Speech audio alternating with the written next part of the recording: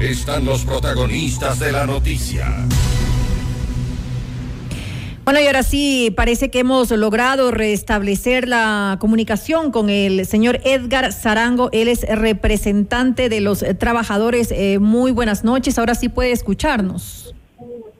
Muy buenas noches, mi estimada María del Carmen. Eh, un saludo a todos los radio oyentes de FM Mundo y pidiendo mil disculpas por problemas de conexión. Ha sido casi imposible poder estar a la hora convenida con ustedes. Desde ya, mil disculpas. Qué pena, lamentablemente no vamos a tener mucho tiempo porque ya estamos casi que finalizando el noticiero, así que brevemente conversemos con usted eh, sobre, eh, pues sí, finalmente no se llegó a un acuerdo entre ustedes y los empleadores y se ha postergado pues esta reunión, esta decisión para el próximo 22 de diciembre. Cuéntenos qué expectativas tienen para esta eh, próxima eh, reunión que está planificada. Finalmente, eh, como usted lo ha manifestado brevemente, porque ya no hay mucho que hablar, el gobierno nacional le corresponderá entonces ya fijar el salario toda vez de que el sector empleador no ha, sido condescendiente con sus trabajadores, más bien se amparan en una en un estudio técnico, en un análisis en los cuales manifiestan que el índice de inflación para el 2021, para el 2021 eh, llega a escaso 1.28 y de pronto a 1.50 y que el incremento sería máximo de 5 dólares. Con lo cual, eh, nuevamente nosotros estamos cayendo, eh, si se quiere, en los... en las ideas o en los criterios técnicos y no en las realidades que vive el pueblo ecuatoriano, en que vivimos los trabajadores.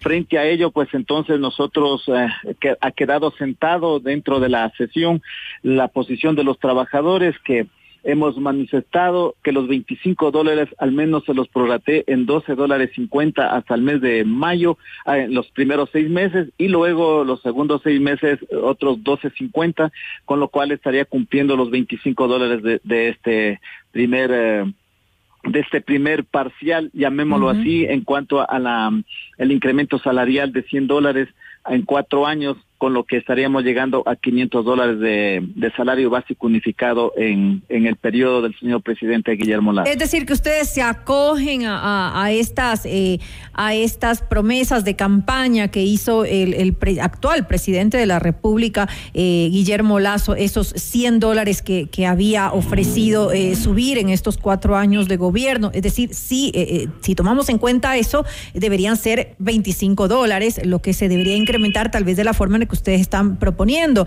Pero eh, usted habla de, los eh, que se están eh, utilizando, se están fundamentando, digamos, las razones de, los empleadores en temas, en razones técnicas. ¿Usted no considera que de alguna manera se deberían tomar, sí, datos técnicos justamente para de alguna manera poder llegar a, a, un acuerdo con ustedes? Porque esa, los datos técnicos son necesarios para poder fijar un incremento de sueldo.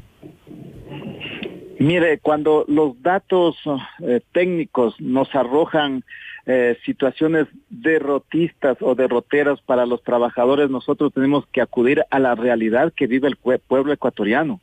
El asunto no pasa justamente por un análisis técnico meramente, sino por decisiones políticas que son parte de los entornos, son parte de los procesos que conllevan justamente a una convivencia y a una, y a una aspiración objetiva.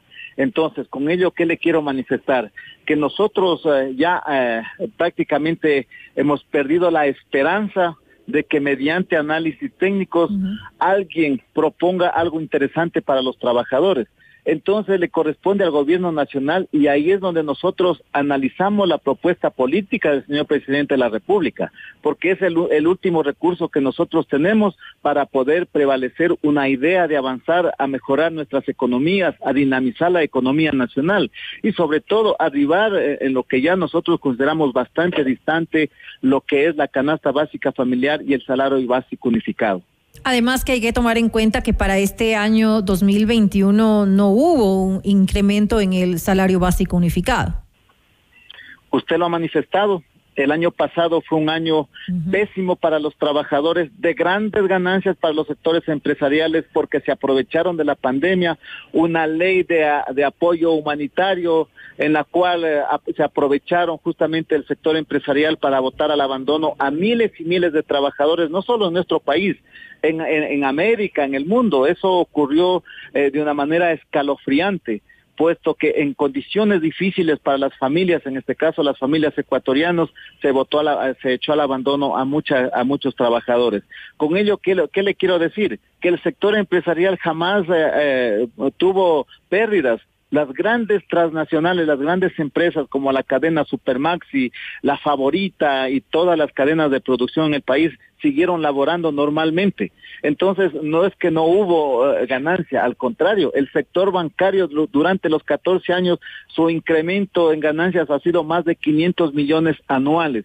Con ello, entonces, estamos diciendo que existe en verdad un superávit en cuanto, un superávit en cuanto a las ganancias que genera eh, justamente el sector empresarial.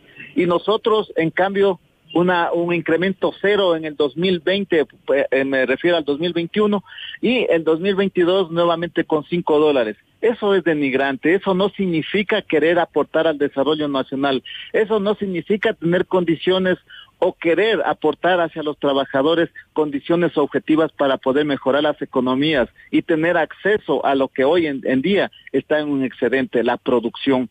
Hay un exceso de producción que no sabemos quién lo, lo va a consumir, si no somos los sectores medios y los sectores pobres que aspiramos justamente tener el beneficio o tener un beneficio para poder adquirir un bien Ah, yo, yo diría a dos años, con lo cual algo estamos aportando al desarrollo, pero con, con un, un, crecimiento cero o un incremento de cinco dólares, no estamos justamente siendo condescendientes con, para, con, el objetivo de dinamizar la economía nacional. Ahora, ¿no es lo más importante en estos momentos la generación de nuevos empleos, señor Esarango, tomando en cuenta que eso es justamente uno de los problemas más graves, el desempleo que tiene en nuestro país?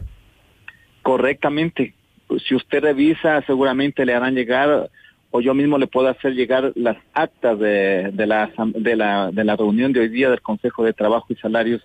Esa es, la, esa es la, la decisión que tiene la Confederación de Trabajadores del Ecuador, mejorar las condiciones de vida de los que ya tienen o ya gozamos e, ese privilegio de tener trabajo, pero también nos corresponde buscar una alternativa y una salida para aquellos que no tienen trabajo o aquellos que viven en la desocupación y que ya estamos llegando a los 7 millones de desempleados y subempleados. Sí, es cierto, esa es nuestro deber, esa es nuestra responsabilidad buscar alternativas. Y así mismo le hemos manifestado al señor ministro de Trabajo. Sentémonos a ver bajo qué ley, bajo qué condiciones se podría mejorar y, sobre todo buscar eh, el siguiente argumento o el siguiente eje que tiene que dinamizar la economía, trabajo un trabajo que sea digno, un trabajo que eh, reúna condiciones para aquellos que aspiramos o que aspiran tener un trabajo a futuro, pero en condiciones que deben ser dignas.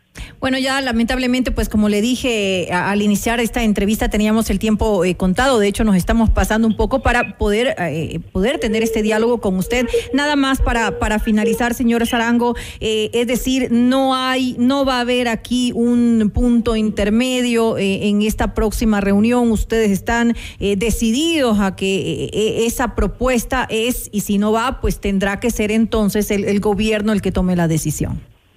Sí, mire eh, eh, hay una oferta de campaña.